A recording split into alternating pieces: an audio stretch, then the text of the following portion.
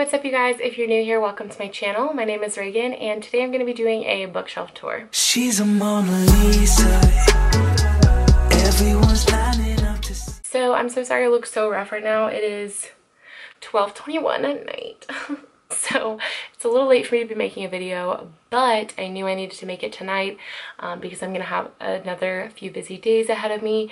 So I wanted to go ahead and get this video in. So my bookshelf is actually pretty small. I started like buying books about a year ago. And so this is just my collection over a year. I used to be totally against buying books because I would read them in like one day and then never pick them up again. And so I would thought it was a waste of money. But once I really started thinking about it, I realized that um, these books that I do buy are like treasures and so I figured it would be important for me to buy them, especially ones that I absolutely love or books that like really changed my life. So about a year ago I started collecting books and buying used and new books um, because beforehand I was just reading books from the library and then just like returning them obviously.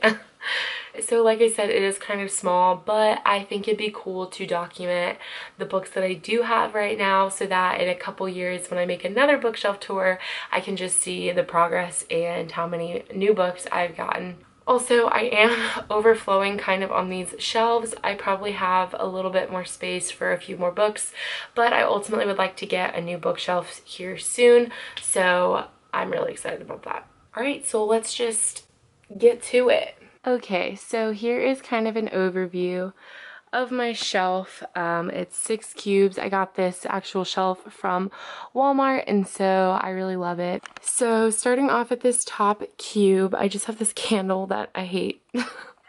Um, somebody got me this for Christmas and I just don't like the smell of it. So I just put it up there for decoration. So up here I have my Colleen Hoover shelf. Um, as you guys probably know, Colleen Hoover is my favorite author and so I have bought almost all of her books now. Um, I'm missing one because I let my sister-in-law borrow it, but it goes right here. So yeah, these are not in any particular order, but I probably want to put them in a different order soon, either in publication order or um, kind of like order of my favorite or something like that. Unsure, but it's gonna happen soon. Okay, and then up here, um, like I was saying earlier, I'm kind of starting to outgrow this shelf. So um, I have some books kind of in the back, but um, I have my little cactus. He's so cute. So let me pull these books out. All right, so back here I have the After series by Anna Todd. I've only read the first book and a half of the second one, um, and I read them both online, but I bought the series thinking I was going to eventually get to them, but yeah, I don't think so. Um, and then I have Dear Martin by Nic Stone, um, which I had to get this for one of my elementary education classes this semester and read it, um, although it's not an elementary child book. It's actually a YA book, so um, do not be deceived. Next up, we have Speak by Laurie Anderson. Um, just read that this month. Um, Burn for Burn. I don't actually know who this is by. Jenny. Oh, Jenny Han and somebody else. I'm pretty sure I bought this book at Second and Charles because I thought it sounded good. Um, like probably like last summer and I have not picked it up, nor do I think I ever will, so I might unhaul this book eventually. Next up, we have The Redemption of Callie and Kayden and the, co or sorry, yeah, these are in the wrong order, but The Coincidence of Callie and Kayden and then The Redemption of Callie and Kayden. Um, I love these books. They're both by Jessica Sorensen. All right, and now I have put these books back. Um, starting right here, I have The Romance Book Club by Lyssa Kay Adams.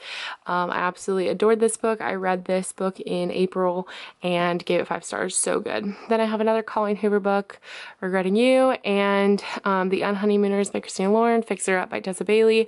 Um, these are books that I just like absolutely love the covers and like the colors of them, so I just put those there.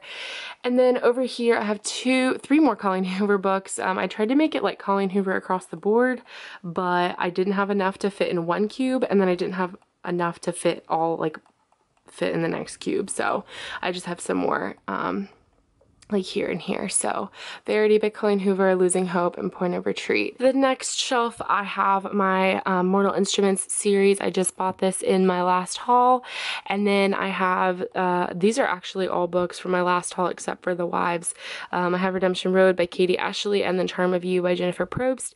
Um, the Vicious Cycle, which is what I'm reading right now, it goes right here, but it's on my bed because um, I'm reading that. And then I have The Wives by Tarryn Fisher it was okay.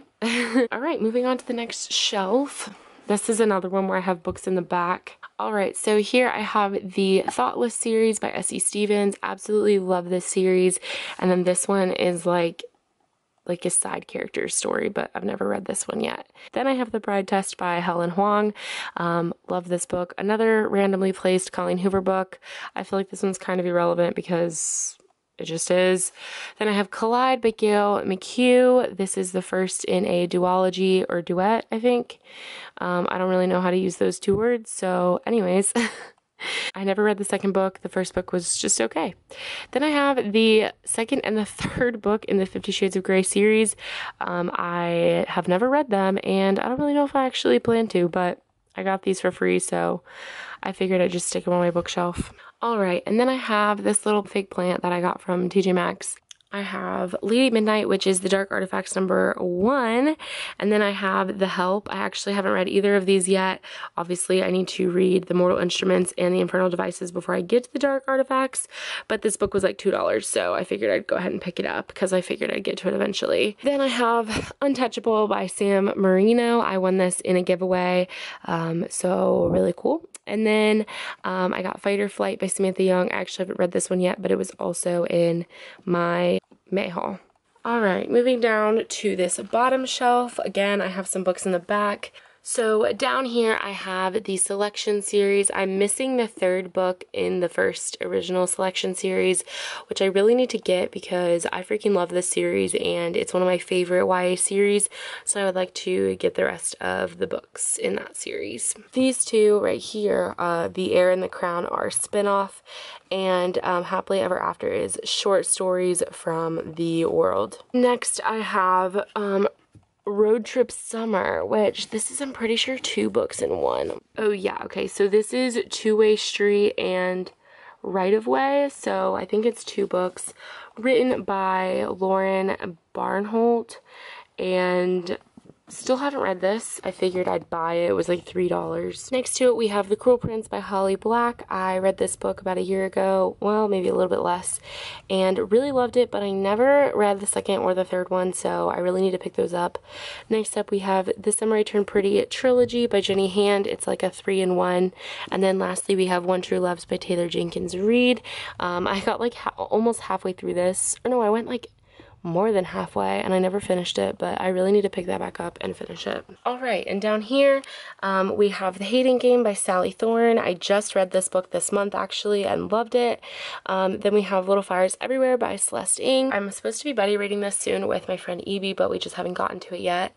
And then right here I have Undaunted by Ronnie Douglas and um, Beautiful Burn and Beautiful Oblivion by Jamie McGuire. These are, I think, the second and third book in the Beautiful Disaster series. I don't own the Beautiful Disaster, but I bought these two because they were like super cheap at Second and Charles. The last two books I have is The Marriage Bargain, which I got this one also in my May haul, and Sublime by Christina Lauren, which also was in my May haul. All right, and moving on to the last um, section here, we have um, The Vincent Brothers. This is a series by Abby Glines. I've never read these either. I don't really know why I bought them because um, they don't sound amazing to me, but I did buy them for some reason, so there they are. Eventually I will get to them probably. Then we have On the Island by Tracey Garvis Graves. Love this book. I read this in April. And then we have My Favorite Mistake by Chelsea M. Cameron. I just bought this book um, about a couple weeks ago and I haven't started it yet, but I'm excited to read this one. Next up we have Fever by Maya Banks. Um, not sure if I'm to read this one. Um, I think I got it because it was like a dollar, but I don't know. Next up we have Archer's Voice by Mia, Mia, Sheridan, and I absolutely loved this book. It was so, so good. Um, highly recommend this one. Then we have The Edge of Never by J.A. Redmer, Redmerski. Redmerski, sure. Um, I read this book and I'm pretty sure it left us on a cliffhanger because there's like a second book, but never got the second book, so great. Next up, we have The Silent Waters by Brittainy C. Cherry. Um, absolutely freaking love this book. I want to own all of the Element series just because I've read two books in that series and absolutely loved them. Next up, we have Beach Read by Emily Henry. I got this with my book of the month purchase and I'm super excited to start this one. And lastly, we have Run Away With Me by Mila Gray. I just got this um, at the very beginning of the month, I'm pretty sure, and started to read it and I got halfway through it and was bored out of my freaking mind. So I shelved that. And maybe eventually I will come back to it, but honestly, probably not. Honestly, I'm pretty sure it was more of a cover buy for me because this is just a beautiful cover and also like the spine is like really pretty pink. And so I really just bought this I think for the cover and the spine and it sounded okay, but it just didn't do it for me. So this is the overall view of it one last time. Um, this is all of my like fictional novels. I have a good bit of faith-based nonfiction books that I keep on my little cart over there, um, but these are just my um, fictional novels that I've collected over the past year. Well, I hope you guys enjoyed this video. If you did, make sure to give it a thumbs up and don't forget to subscribe to my channel. I will be seeing you guys in future videos. Bye. Everyone's lining up to see her must be something about a feature